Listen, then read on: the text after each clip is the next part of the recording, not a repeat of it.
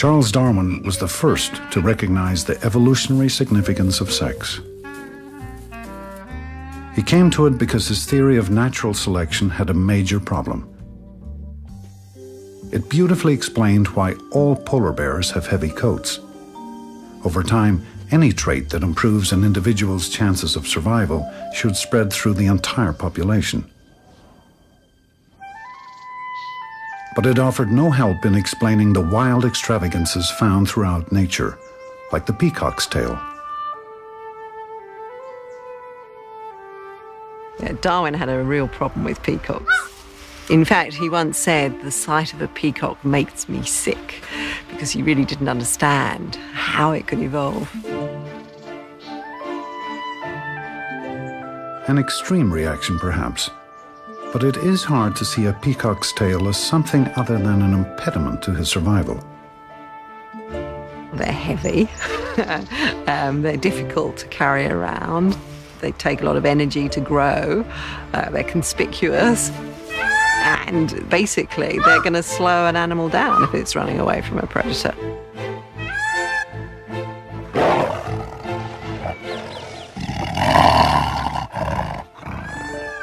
Wasn't just the peacock's tail that Darwin's theory of natural selection couldn't explain.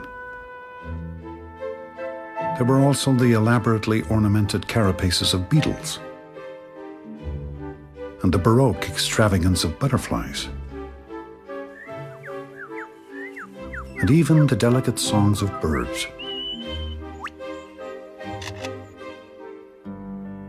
Theologians of his day argued that God created ornate flowers and feathers to inspire man's wonder and devotion.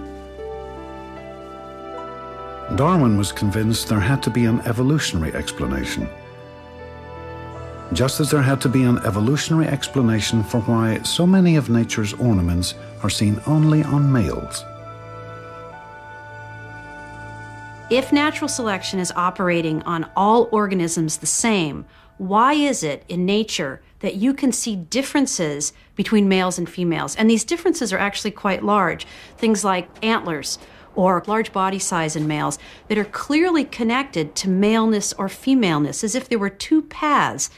And this really doesn't make sense if you accept evolution by natural selection that should be operating the same on everybody. It took him several decades to think of it, but eventually he happened upon the idea of sexual selection, which is really Darwin's most ingenious idea, I think. These ornaments are not for our good, they're to advertise each individual's fitness, its goodness as a mate to the opposite sex of its own species. In a sexually reproducing species, survival is no good if you don't find a mate. If you don't convince somebody that you're good enough to copulate with, to have offspring with, your genes will die with you. You won't leave any descendants.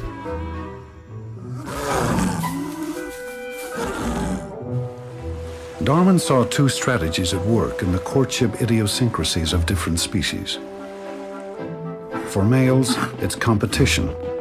For females, it's choice. Males fight for access to or control over the females themselves or a resource females need, like food or territory. Sometimes this competition gets downright nasty. But it's just as likely the males of a species will follow the path epitomized by John Travolta in Saturday Night Fever the path of the peacock, seduction through sexual display. This is where female choice comes in. Would expect that the female who invests more per egg, per offspring, should be much more choosy about who she has offspring with, who she combines her genes with. Whereas the male, who's investing so little, you would expect that he wouldn't care so much. Darwin's contemporaries had no trouble with male competition. But females actively directing evolution through their choice of mates, that was too much. This was the aspect of sexual selection that Victorians really had trouble with.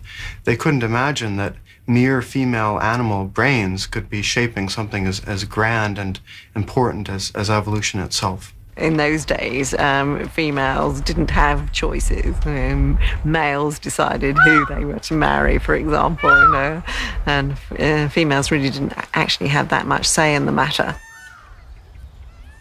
So radical was the idea of female choice that it was more than a century before anyone tested it. Marion Petrie's experiments with peacocks were among the first. According to sexual selection theory, peacocks grow their tails because peahens pay attention to them. And peahens pay attention because only a healthy, fit, strong peacock can afford to grow one. Yeah, To test that, Petrie measured the tail lengths of a captive population of peacocks. 145. Then she charted exactly which males the females chose over an entire mating season. Her data left little doubt. To peahens, size matters.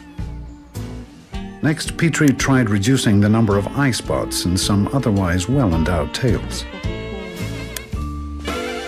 The result was a lonely mating season for the trimmed birds. Finally, Petrie started playing matchmaker we paired females with males with big trains and we paired females with males with small trains.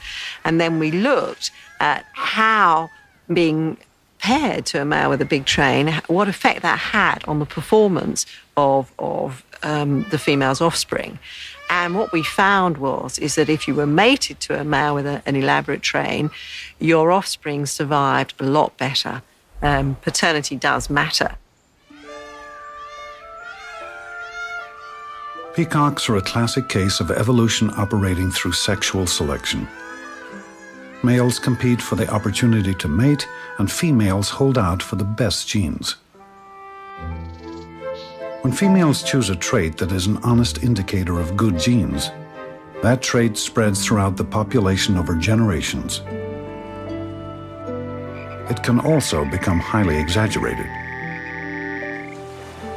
It's all a logical consequence of the differing reproductive strategies of males who have lots of sperm and females who have fewer eggs.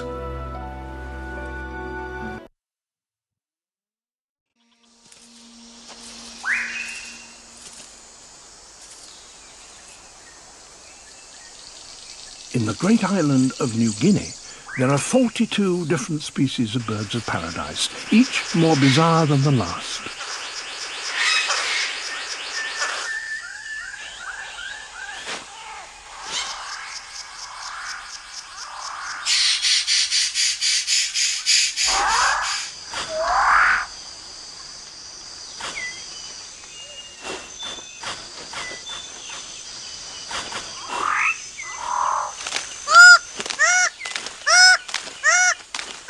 This forest is so rich that nourishing food can be gathered very quickly.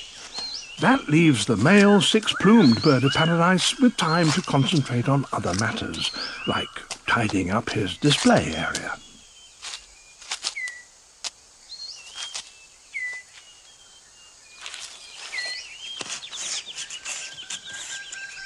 Everything must be spick and span.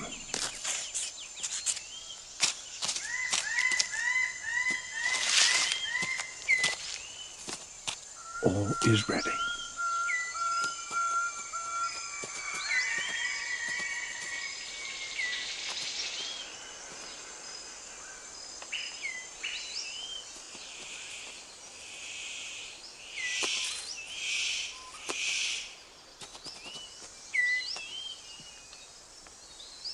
Very impressive, but no one is watching. The superb bird of paradise calls to attract a female. And he has more luck. But what does he have to do to really impress her?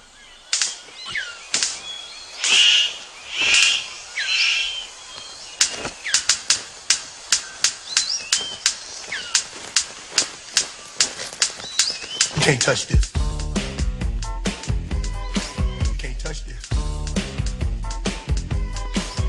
This. Can't touch this. My, my, my, my music so hard. She retires to consider her verdict.